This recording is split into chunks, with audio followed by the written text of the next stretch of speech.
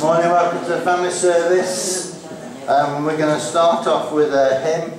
And the first hymn we're going to sing is Shine, Jesus, Shine. Now, during this first hymn, we're going to take the offering. And the offering is for the um, for those survivors of the earthquake and, and those that have lost friends and family um, during the earthquake. So um, let's sing Shine, Jesus, Shine. We'll stand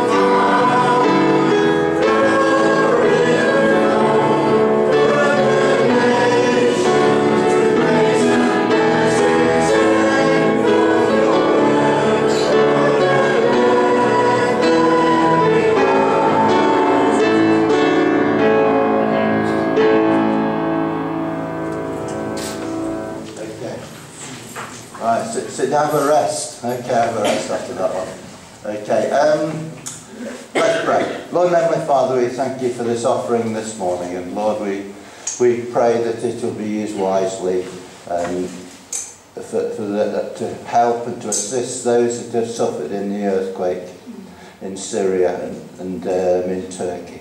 Lord, we pray for those people, those people that have lost their homes, Lord, those that have lost members of their family. Lord, we pray for the rescue workers and those that are providing support. We pray that they'll get the help they need. And Lord, we pray for the aftermath. Lord, we pray that there won't be um, there won't be um, lots of contagious diseases and that they'll be able to get the water and the services that they need. So, Lord, we, we pray for them. Amen. Okay, let's um, we're doing the notices. Um, notices for this week. Um, Tuesday, sorry, Tuesday at um, 7.45 is a Bible study and it's going to be at Geoff and Sandy's this week. Geoff and Sandy's Bible study. And um, we're going to be looking at um, Daniel chapter 1. Now, for the next um, six Bible studies, we're going to be looking into the book of Daniel, and we'll be starting it off this Tuesday. Wednesday, 12 o'clock, it's the warm, yes, Could I just say, Andy, I'll send the notes out for Bible study with the email on Tuesday. okay, all right then, yeah. And um, warm up on Tuesday, on Wednesday at um, 12 o'clock, midweek at 2, um, and we're, going to be having uh, Rita Bailey. She's going to come and talk to us about somebody called James Ashworth. I don't know much about him. Um, so if, if you don't know, come and find out just the same way I'm going to find out. Okay? Uh, and it's called Making a Difference. So he obviously made a difference somewhere. Uh, James Ashworth. Um, 6.15 Kids Club. And at 7 o'clock it's Rock Solid. Uh, next Sunday, I think it's Morris. It is Morris, yeah, Morris is speaking next Sunday. And um, the Sunday afterwards, it's um, the 12th, it's Liz's baptism. Okay, so that's something that we're very much looking forward to on the 12th of March. Okay, let's click on. All right, just before we go, to Graham's course, I'm going to um, take some prayers. So if anybody would like, or if anybody's got anything they'd like us to pray for, particularly this morning. Yes, Graham. Please, for our choir's outreach this week, please.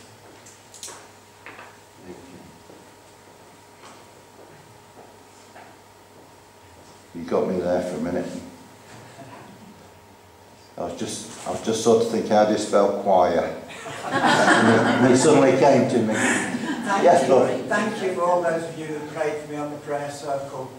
Two people rededicated their life to the Lord on Friday. Oh, that's great. That's And they were mature people. Okay, thanks. That's good.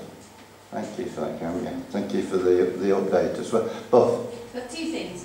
Um, the little baby Iona who passed away in December, it'll be her, or would have been her first birthday, I think, on Wednesday this week. So perhaps we can pray for the family this week because I imagine that's going to be quite tricky. Mm. And secondly, I have a friend whose husband is a pastor of a big church in um, Nottingham. And he's had some medical tests recently. They've got to wait two weeks for the result. There's two things that it could be that would be okay, if a little inconvenient. One thing that would be nastier. Perhaps we could pray they have patience in the waiting mm-hmm. and that God overrules and wouldn't it be lovely if it wasn't the nasty bit, I suppose. Okay.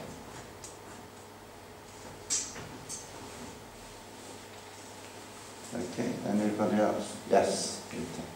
I know people, some people remember me praying for my brother Alan some time ago, Yeah. and he was found on the floor for several days and nobody knew. He'd been in hospital and I'd been visiting him, and he's, well, he was at the point of death. We were told he wasn't going to live, but we, my daughter took me to see him a number of times, and he slowly uh, improved, and which was good to see. and he was doing really well actually. Uh, now he's got COVID in hospital, so he's COVID. So Yeah. if people could pray that he'll get over that all right, and then I think that they'll be thinking of perhaps a home that he can go into, I'm hoping so anyway, but he does need to get over his COVID now. Okay. And, and that, is that Alan or? Alan. Alan, Alan.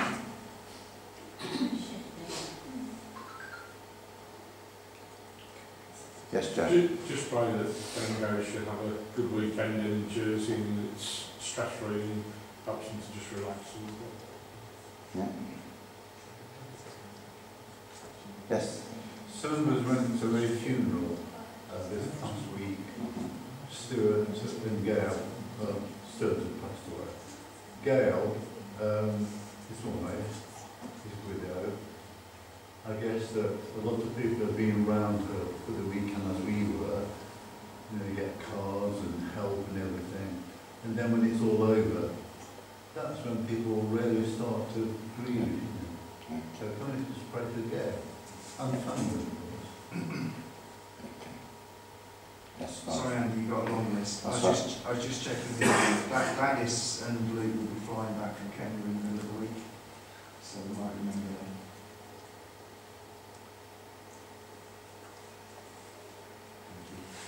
Thank you.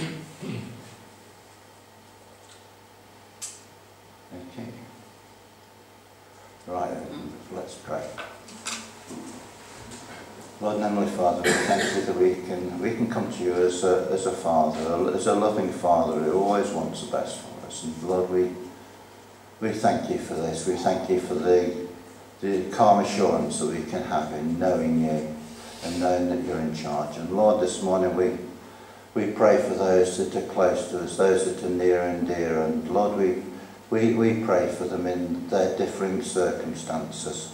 Lord, we pray for um, Graham's outreach and Lord, we pray for the choir and we thank you for those that rededicated their lives.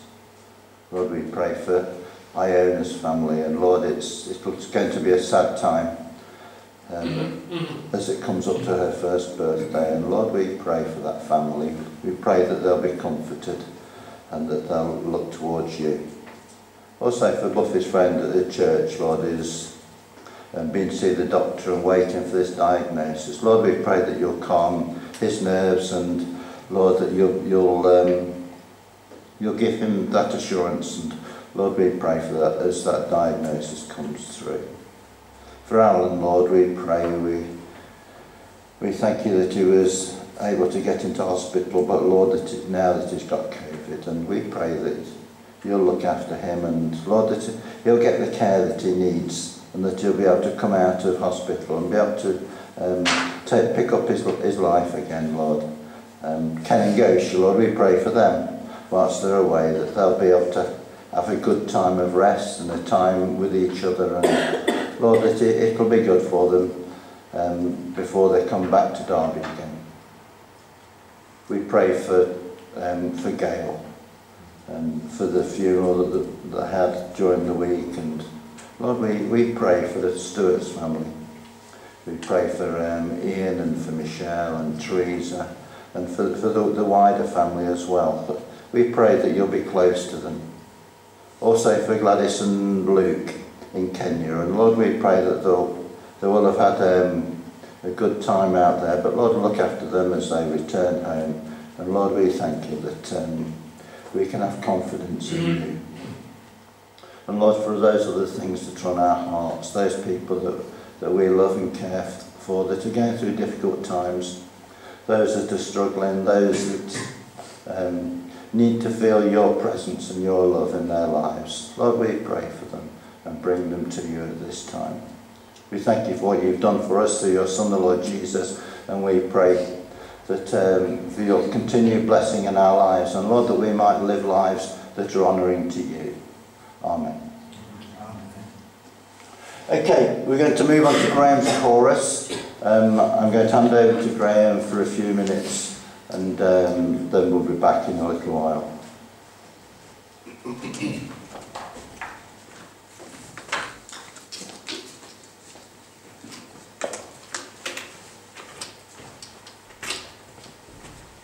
On Friday, I was preaching on the theme, uh, super theme that should be on a great big signboard like this. And I've never seen it on one. But where I am, there ye may be also. But where I am, there ye may be also. Now, let's find these songs. 96 of these is a job, you know.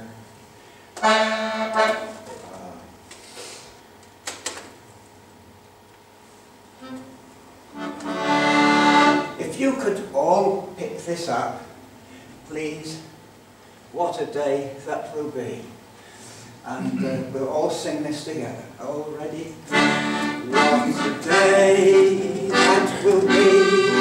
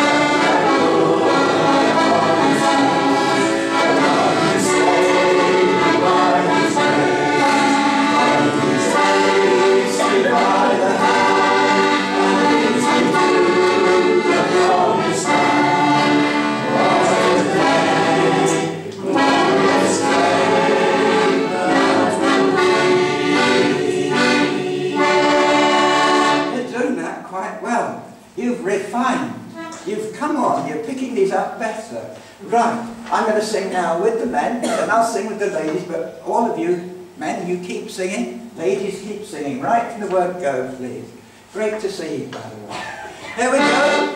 One, two, three.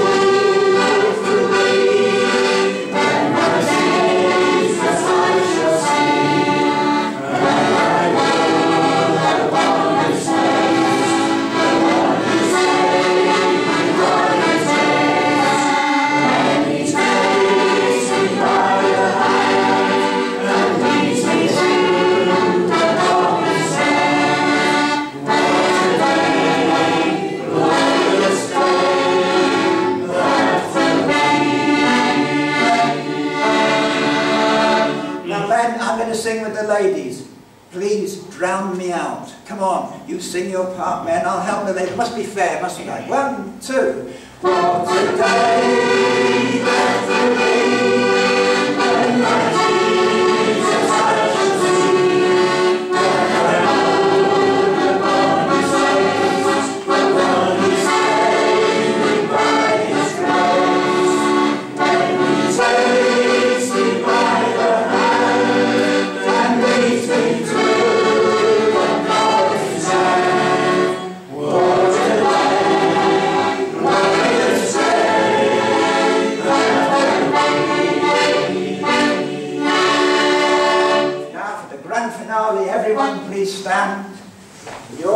Um, stand, Mary sing out loud, the ladies are floating over the top of this desk stand.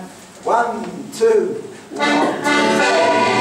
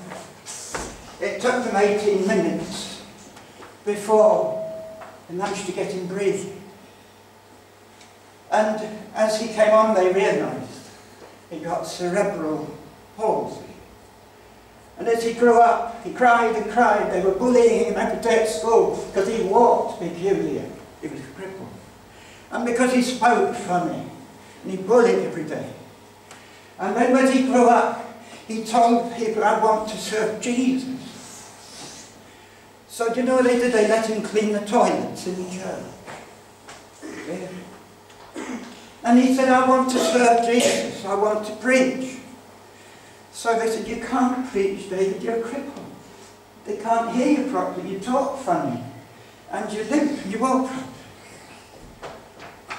You're going to hear David and when he gets to the chorus, join in, will you? Join in. What is heaven gonna be like? I don't know about you, but when I think of heaven, I'm excited because I got property up there.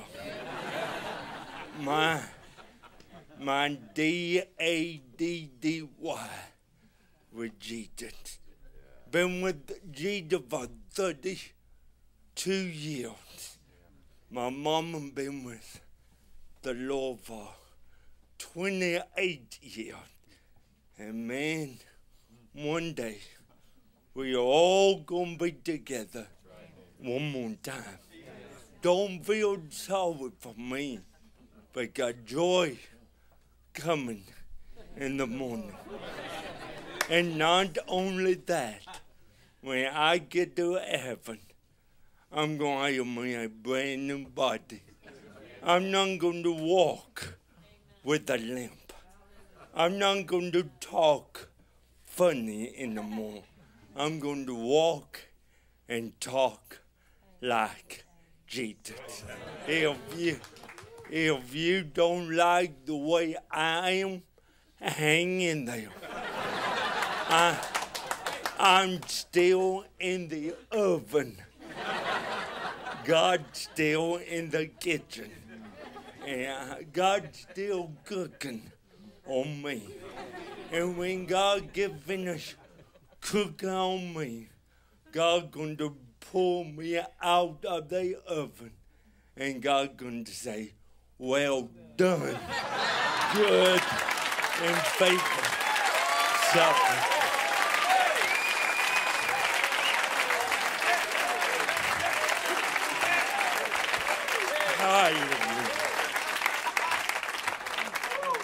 But when I think of heaven, when I think of my mom and my dad, when I think of a brand new body, George, I can tie my own shoe.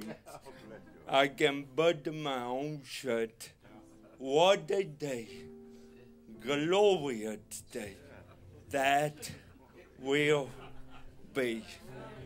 There is coming a day we'll no hard age shall come, No more clouds in the sky. No more tears to dim the eye. All in peace forevermore. On the happy golden shore. What a day, glorious day that will be.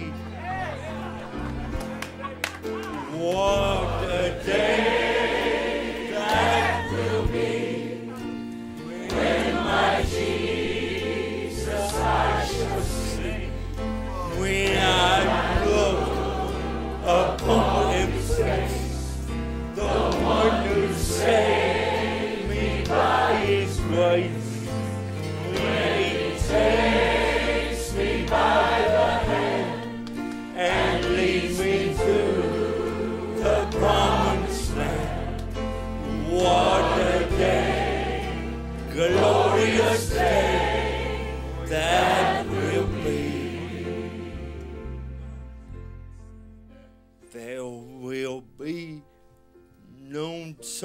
sorrow there, no more burden to bear, no more sickness, no pain, no party over there, and forever I will be with the one who died for me. What a day, glorious day that will be singing. What a day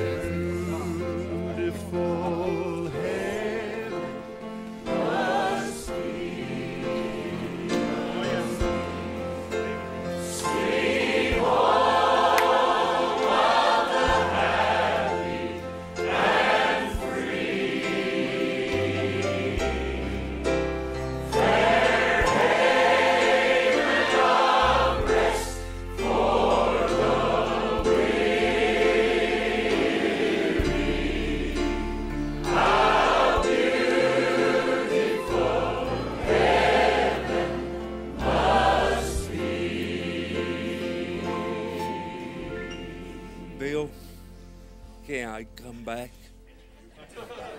I got me a new song.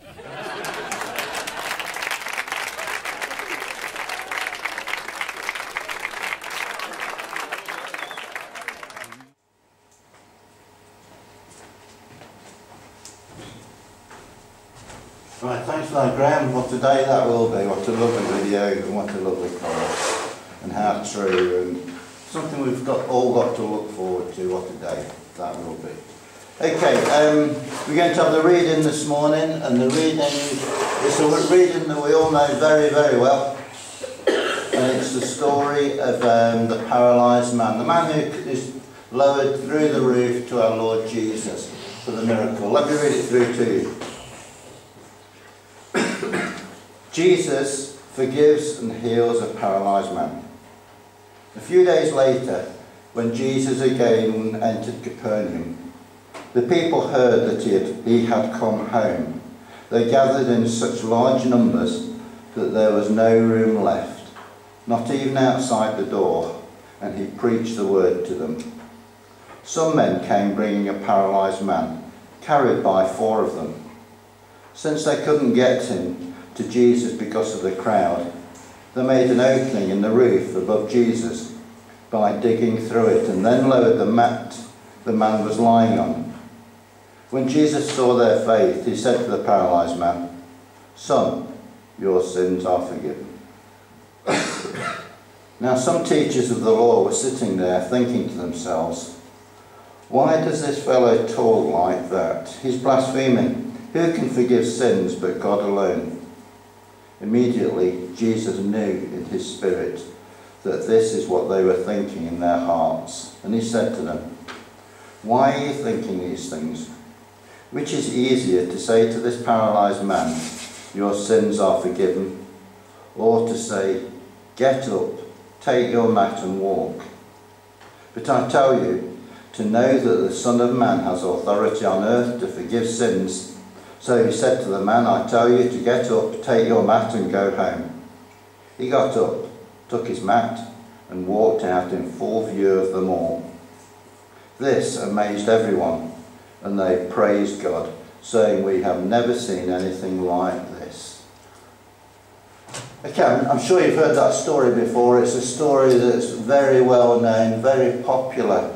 And it's a story that um, I've told lots of times, and especially to children, okay, because it's so visual. You know, you can imagine how the, the, the, four men are bringing their friend to see Jesus.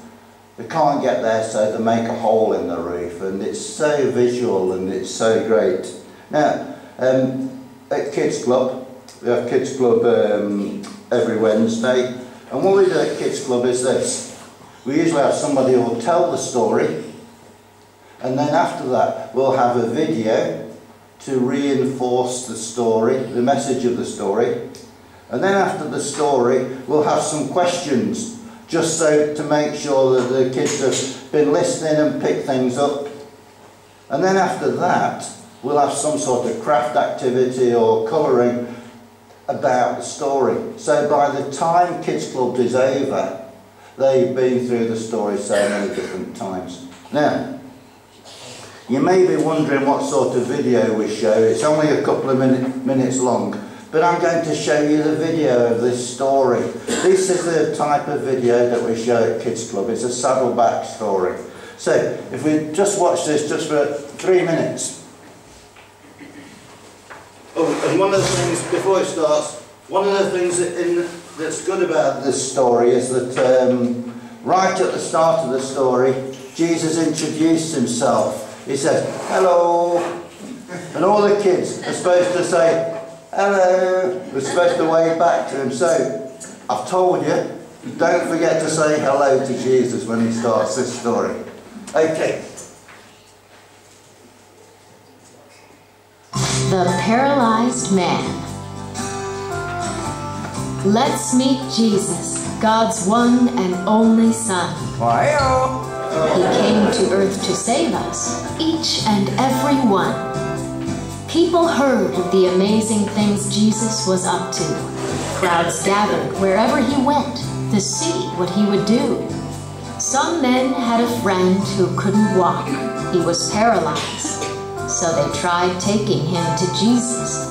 Excuse me? But couldn't because of the crowd's size. The house was filled with people. They couldn't even get in. Oh well. No. But not a problem. Uh, what? They had an idea and just needed to do a bit of climbing. Hey eh? guys. They got on the roof, dug a hole, and lowered him through the ceiling. Hey everybody, how's it going? He landed in front of Jesus, hoping for a healing. Jesus saw their faith and said, Son, your sins are forgiven. Some Jewish leaders thought, What does he think he's doing?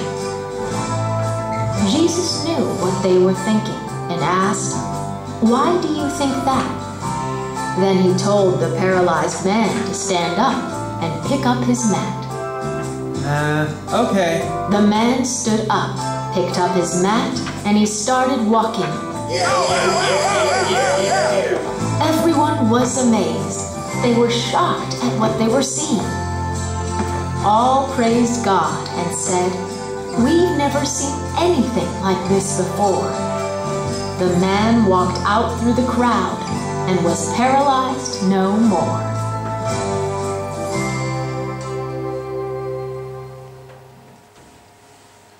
Okay. The good news is I'm not going to give you a quiz or anything like that, or I'm not expecting you to do any colouring or anything like that. But what I'm going to do, I'm just going to pick on one aspect of this story. Okay, I'm not going to go through the whole lot, but I'm just going to pick on one thing. This story took place at a time when our Lord Jesus was extremely busy. Everybody wanted to see the Lord Jesus because he was doing miracles. You know, everybody that was ill, everybody that had something wrong with them, wanted to get close to Jesus. And let me tell you what it says in the Bible. Just a little bit before this story started, it says this. It says, That evening, after sunset, people brought to Jesus all the sick and demon possessed, and the whole town gathered at the door. And Jesus healed many with various diseases. Jesus healed a leper with a strong warning don't tell anyone. But instead, he went out and began to talk freely, spreading the, the, the news. And as a result, Jesus could no longer enter a town openly, but stayed outside in lonely places. And yet, still, people came to see him from everywhere. So you can imagine what it's like in our Lord Jesus' life. People getting close in the next chapter, after this story that we've just seen on the video and we've read about, it says this. It says, Jesus withdrew his disciples to the lake, and a large crowd from Galilee followed. When they heard about all that he was doing, many people came to him from Judea, from Jerusalem, which was 60 miles away, from Idumea, which was a place in the desert, desert area, and from regions across Jordan and around Tyre and Sidon. They were cities on the Mediterranean, and but because of the crowd, Jesus told his disciples to have a small boat ready for him, to keep the people from crowding him. For he had healed many, so that those with diseases were pushing forward to touch him. That's what it says in Mark.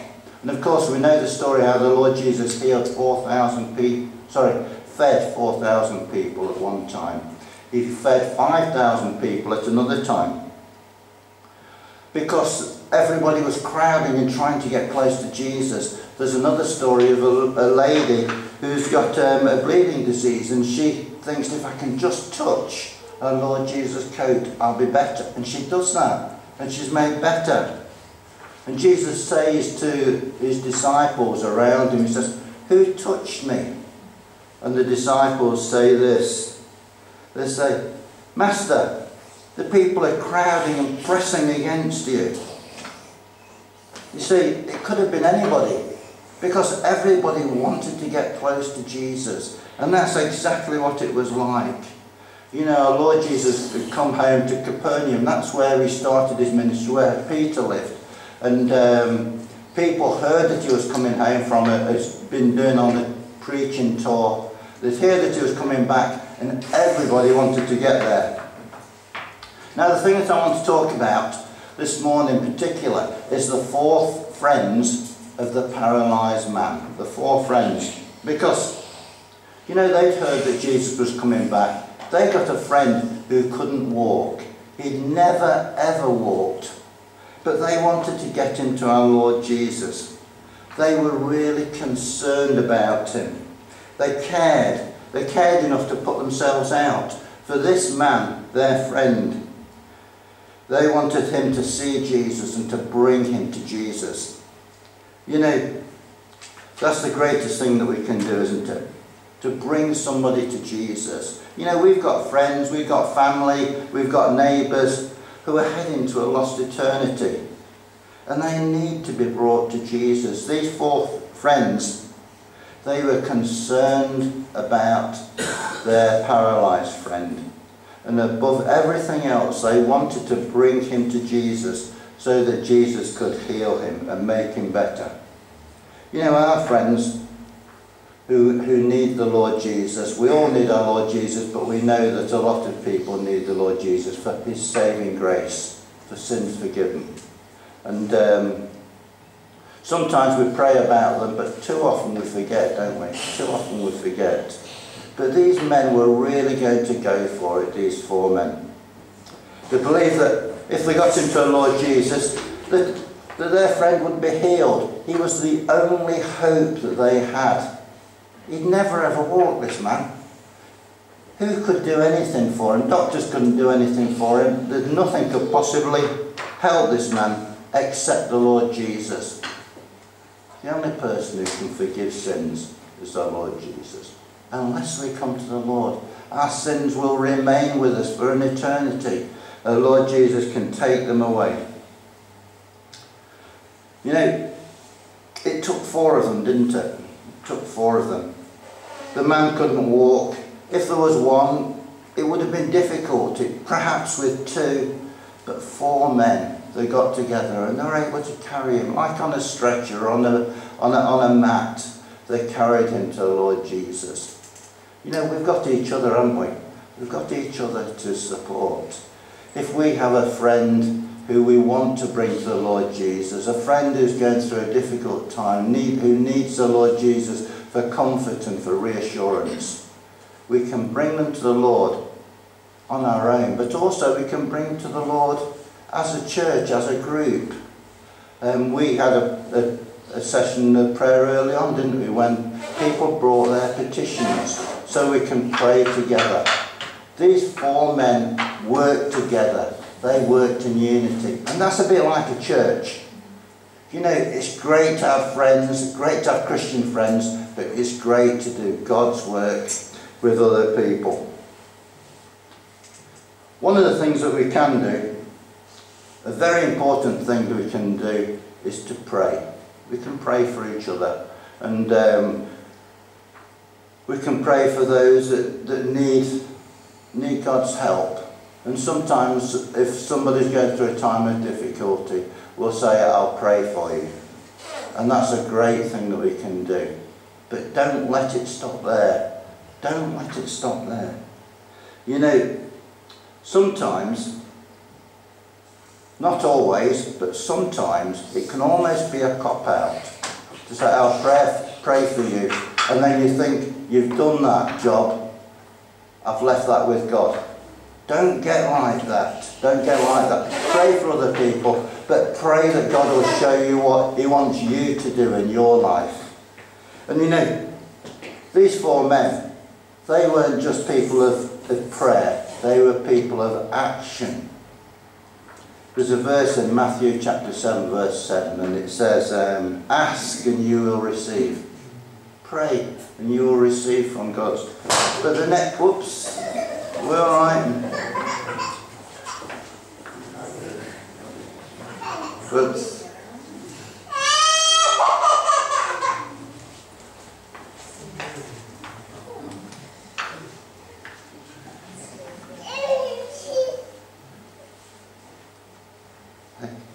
Well, that was quick, couldn't I? I tell you what, if I would have fallen down flat on my face, I would have been down for, for weeks, I think. No, she's, okay, anyway, let's hope she's Okay, anyway, let's um, ask and you'll receive. Yeah, pray about it, because God loves to answer prayer. But the next part of that verse says, Seek and you will find. It's a little bit more, isn't there? Knock and the door will be open to you. These are action things as well, aren't they? These are things that God wants us to do, and that's what the um, what the four men were doing, the four friends. You know, the, they, they carried the, their friend to the house where our Lord Jesus was, and they couldn't get in. And I'm not surprised. I'm not surprised. Everybody wanted to see Jesus. And you know, they didn't stop there, did they? They didn't say, oh, well, we tried. we took him, we took him to Niji, we, we couldn't do it. They were absolutely determined, weren't they? You know, I don't, we don't know who these men were, where they came from, these friends. We don't know the names, we know, don't know anything about them. They may have come from a long way away. They may have come from a neighbouring village. But they didn't say, oh, we'll wait till Jesus comes, comes to our village. They wanted it right now, didn't they? They didn't say, well, we've tried our best. We brought him to the house, but we couldn't do it. They wanted to go further than that, didn't they? They were persistent. They didn't give up. And um, if one way didn't work, they tried, they tried another way. They would continue to that. And then I can imagine one of them saying, let's take him onto the roof. And the other three men would look at him, take him onto the roof. And then he'd say, yeah, we can make a hole in the roof. And I can imagine his other three friends thinking, this has gone bonkers, you know. But nevertheless, they did it together, didn't they? And these four men, they're carrying up onto the roof, and they start to take the roof off. And I bet there was all the time they're thinking, what on earth's going to happen here, you know? People are going to complain. Obviously, somebody, somebody's got to pay for the damage that's been made. What are the people that are underneath going? Is it safe for those that are underneath if we start taking the roof off? Lots of excuses.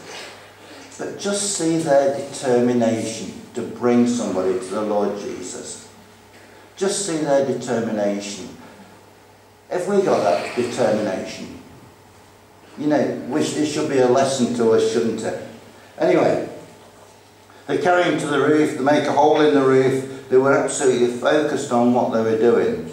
And they lowered the Lord Jesus, all four of them together, working together. It wouldn't have been possible with one, two, but four of them, were able to lower him down to the, down to the floor where our Lord Jesus was.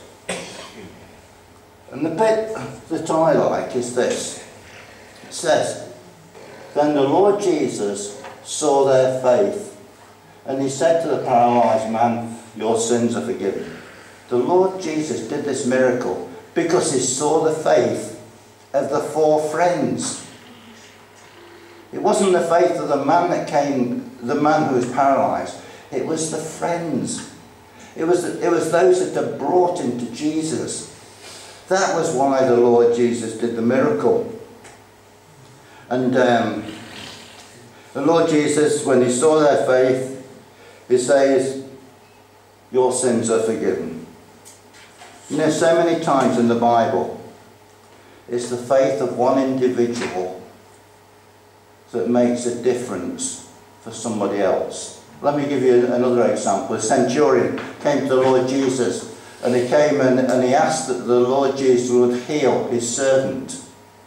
And the centurion said, I'm not worthy that you come to my house. Just say the word and it will happen. This centurion just wanted the Lord Jesus to say the word and his servant was cured. It wasn't that the servant came, it was somebody came on behalf of the servant of the Lord Jesus. Another man, a nobleman, his daughter. His daughter was um, was close, sorry, not daughter, the son was close to death. And he was very, very concerned. He left his home, he went to see Jesus. And he got to see the Lord Jesus. And the Lord Jesus said, Go home because your son will live. And he just turns around and goes back home again. On the way home, a servant from his house comes and meets him and says, Your son is better. He's, he's not dying anymore. And the nobleman says to the servant, Well, what time did it happen? And they found out it happened at exactly the same time that the Lord Jesus told the nobleman to go home because your servant will, sorry, your son will be well. And you know, that's the Lord Jesus working on behalf of those that come to him for other people. And you know, that's what we should do. We should do our, our utmost best to bring others to the Lord Jesus, to bring them to him, because he, he alone can he alone can um, get rid of the sin that prevents people from coming, coming to, to an eternal glory. Right, just, just to, to whiz through a little bit further. The first thing that Jesus says is, your, says to the paralysed man is, your sins are forgiven. Now this is a strange way to start a cure. But, let me tell you, in Palestine at that time, when our Lord Jesus was around, there was a connection between sin and suffering. There was a direct connection. Now, I know that death and suffering all came into the world as a result of sin. We all, we all suffer in one way or other, we all die eventually, one way or other, because of sin. But you know, also Jesus, in Jesus' time, people would say that you're suffering because of you got sin in your life. In other words, if you were ill, somewhere along the line, you'd been disobedient to God. And that's why you was ill. And so, people that were um, beggars, people that were blind, well, it's their own fault because they've sinned against God. It's not the way that we think, not one little bit. Because um, sin and disease and destruction comes upon everybody in the world because of sin generally. But they focused on the individual. And you know, the first, and they also said that somebody could not be cured or made better or well unless first of all they had been they were sorry for what they'd done wrong. In other words, they were, they were ill because they'd done something wrong, and until they said they were sorry for what they'd done wrong, they weren't going to get better again. And it may well be that the man felt the same thing. A prerequisite of his healing was to be forgiven. Son, your, your sins are forgiven. And um, so Lord Jesus forgives his sins. He didn't realise that that's even better than getting well. You know, he was made um, able to walk again, to live his life again, due to the healing that our Lord Jesus brought. But to have his sins forgiven, that was going to be for eternity. His being able to walk for again would just last until the end of his life, but sins forgiven would go on forever and ever and ever. What a greater gift to have your sins forgiven than to have an illness or a disability um, cured. Anyway,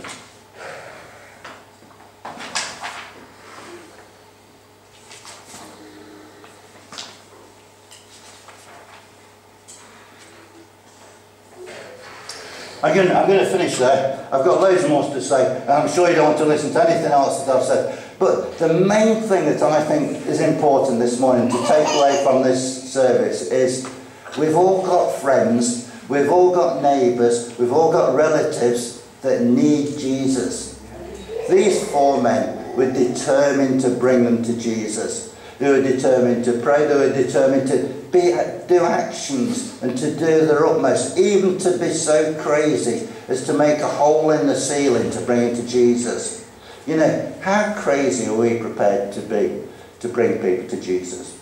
And I, and I want to leave that as a challenge. We'll, we'll finish the story there, but um, it's a great thing, isn't it? Our Lord Jesus healed the man, but he also forgave his sins. And it's a great thing to know sins forgiven and to know the sins forgiven of others so they can share a home in heaven. Let's close in prayer.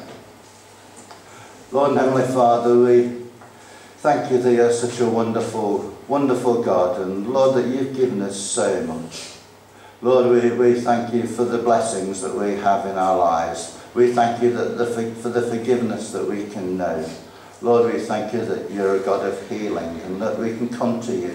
Lord, that we can bring others to you, those that are going through difficult times.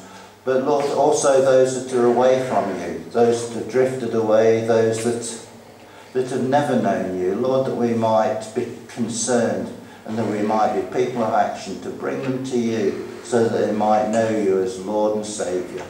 Lord, we thank you for what you've done for us for your death on the cross at Calvary. that can bring us close to you. So Lord, now we, we thank you and we we pray for your blessing over this coming week. And Lord, we pray that, um, that we'll live lives that are worthy of you.